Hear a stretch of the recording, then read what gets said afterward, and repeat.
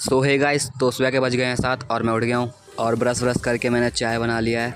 और चाय बना के ज़िंदगी के दो चार घंटे बर्बाद करने के बाद दोपहर के बज गए हैं साढ़े ग्यारह और हमने कर लिया बैग पैक इसके बाद हम नहाएँगे और स्कूल में तैयार होंगे। तो फाइनली अपन हो गए रेडी इसके बाद अपने स्कूल जाएँगे और स्कूल से आने के बाद आपको मिलेंगे। ठीक है गाइस तो फाइनली मैं स्कूल से आ गया हूँ घर और बहुत ज़्यादा गर्मी लग रही थी। घर के अंदर इसलिए मैं बाहर आ गया हूँ बालकनी में। तो आज के दिन कुछ खास हुआ नहीं। सभी सर आए और स्कूल को मिड टर्म के नंबर बता के चले गए। तो आज के लिए इतना ही। मिलते हैं कल। तब तक के लिए राधे राधे